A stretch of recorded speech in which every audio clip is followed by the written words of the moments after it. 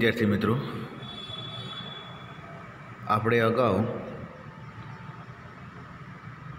ધોરણ આઠ વિષય વિજ્ઞાન અને ટેકનોલોજીમાં એકમ ચાર પદાર્થો, ધાતુ અને અધાતુમાં ભાગ એક વિશે અભ્યાસ કરી ચૂક્યા છીએ.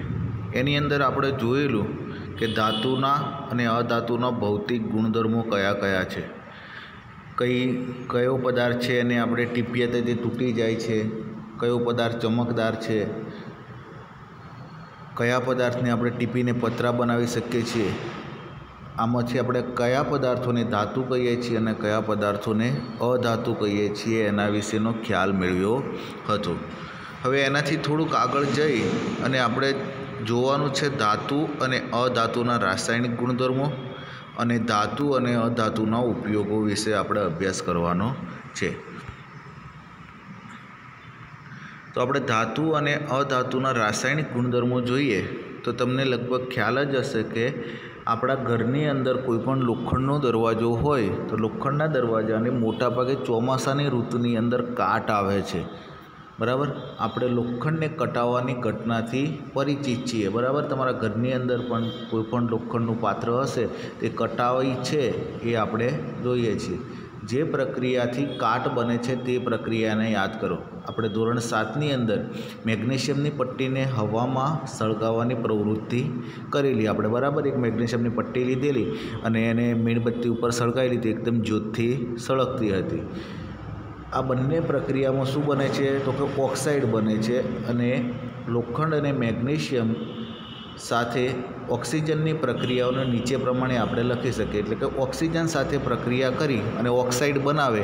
આમ લોખંડ જે છે એ ઓક્સાઇડ બનાવે એને આપણે બીજા શબ્દોમાં કહીએ છીએ કાટ હવે લોખંડ છે એને આપણે દર્શાવીએ છીએ એફી એની ઓક્સિજન અને પાણી સાથે પ્રક્રિયા થાય તો લોખંડના ઓક્સાઇડ બને છે અને લોખંડના ઓક્સાઇડ એટલે જ આપણે એને બીજા શબ્દોમાં કહીએ છીએ કાટ આપણે એને લખવું હોય તો ટુ એફી વત્તા ઓ ટુ એટલે ઓક્સિજન વત્તા એચ ટુ એટલે પાણી, બરાબર? હાઇડ્રોજનના બે અણુ અને ઓક્સિજનનો એક અણુ આમ ભેગા થઈ અને પાણી બને છે. અને આ સંપૂર્ણ પ્રક્રિયા થઈ અને F E two O three વત્તા એચ ટુ એટલે હાઇડ્રોજન વાયુ છૂટો પડે છે અને લોખંડનો જે કાટ છે એ આપણને જોવા મળે છે અથવા તો લોખંડના ઓક્સાઇડ આપણને જોવા મળે છે અથવા તો ફેરિકના આપણે ઓક્સાઇડ કહીએ છીએ.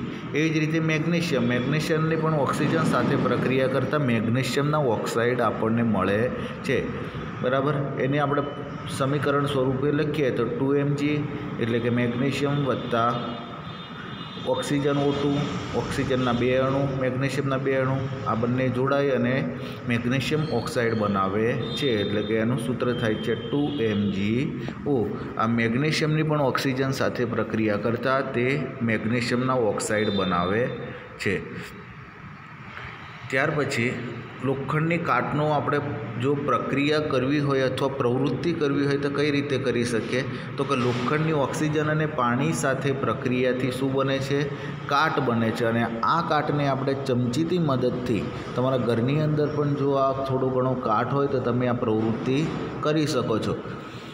આ જે કાટ છે એને થોડુંક આપણે ડીશની અંદર લેવાનું અને તેની અંદર થોડુંક પાણી ઉમેરવાનું અને એ સંપૂર્ણ મિશ્રણને શું કરવાનું? વ્યવસ્થિત રીતે મિક્સ કરી દેવાનું. કસનળીને આ દરેકે દરેક જે આપણે મિશ્રણ લીધું એને શેમાં લેવાનું કસનળીની અંદર અને કસનળીને પણ બરાબર હલાવી દેવાની. એટલે કાટ જે છે એ પાણી સાથે સંપૂર્ણ રીતે મિશ્રણ થઈ જાય અથવા તો નિલંબિત થઈ જાય. ત્યાર પછી આ જે કસનળી છે, કસનળીની અંદર આપણે લિટમસ પત્ર અંદર નાખવાના. આપણે લિટમસ પત્ર કેટલા પ્રકારના છે? બે પ્રકારના. એક ભૂરું અને એક ભૂરું લિટમસ પત્ર અને લાલ લિટમસ પત્ર. બરાબર? હવે આ લાલ લિટમસ પત્ર છે એ આપણે નાખીએ તો કેવું થાય છે અને ભૂરું લિટમસ પત્ર નાખીએ તો કેવું થાય છે? તો કે આપણે જોઈએ છે, તો કે એ પ્રક્રિયા કરતાં આપણને ખબર પડે કે લાલ લિટમસ પત્ર એ ભૂરું બને છે. અને ત્યાર પછી આપણે ભૂરા લિટમસ પત્ર અંદર નાખીએ તો એની ઉપર કોઈ અસર થતી નથી. હવે આપણે એની પરથી કહી શકીએ કે આ એસિડ છે કે બેઝ છે. બરાબર? આપણે એ લિટમસ પત્ર પરથી પણ ખબર પડી જાય કે જે એ ભૂલા, એ મેં ટૂંકમાં યાદ કરાયેલું સાતમા ધોરણની અંદર, કે આપણે યાદ રાખવા માટે એ ભૂલા, એટલે કે એસિડ ભૂરા લિટમસ પત્રને લાલ બનાવે. અહીંયા ભૂરા લિટમસ પત્ર પર કોઈ અસર થતી નથી. બરાબર? અને બે લાંબુ, એટલે કે બેઝ લાલ લિટમસ પત્રને ભૂરો બનાવે. અહીંયા આપણે પ્રક્રિયા એ જ થાય છે કે લાલ લિટમસ પત્ર કેવું બને છે? ભૂરું બને છે. અને એટલા માટે આપણે લોખંડનો કાટ કેવો બેઝિક ગુણધર્મ ધરાવે છે એવું પણ કહી શકીએ છીએ. બરાબર?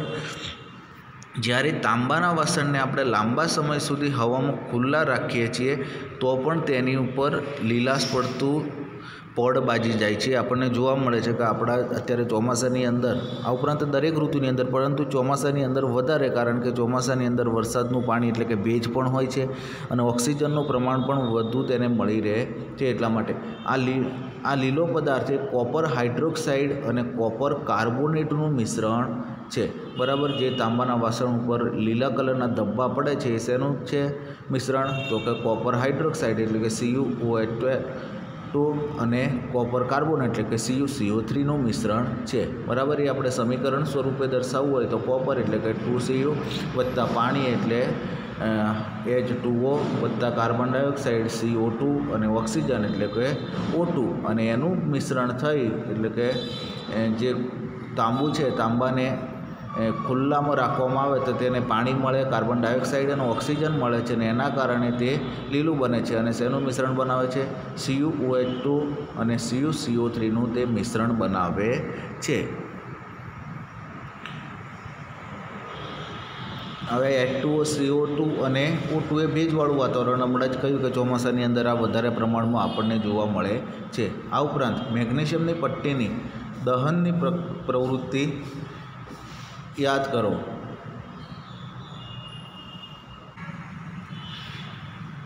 આ ઉપરાંત મેગ્નેશિયમની પટ્ટીની દહનની પ્રવૃત્તિ પણ આપણને યાદ છે. મેગ્નેશિયમની પટ્ટીના દહનથી મળતી રાખને આપણે પાણીમાં ઓગાળી અને તેની પણ આપણે લોખંડની જે રીતે કાટની પ્રક્રિયા કરી, એ રીતે પ્રક્રિયા કરીએ અને લિટમસ પત્રનો ઉપયોગ કરીએ તો આપણને ખબર પડે કે લાલ લિટમસ પત્ર કેવું થઈ જાય છે, ભૂરું થઈ જાય છે અને આ માટે આપણે મેગ્નેશિયમને ઓક્સાઇડની પ્રકૃતિ કેવી ગણીએ છીએ, બેઝિક ગણીએ છીએ. જેવી રીતે આપણે લોખંડના કાટની ગણીએ, એવી જ રીતે આની પણ આપણે મેગ્નેશિયમની પટ્ટીની પણ બેઝિક પ્રવૃત્તિ જોઈએ છીએ, પ્રકૃતિ જોઈએ છીએ. સામાન્ય રીતે ધાતુના ઓક્સાઇડ બેઝિક પ્રવૃત્તિ ધરાવે છે અથવા તો પ્રકૃતિ ધરાવે છે.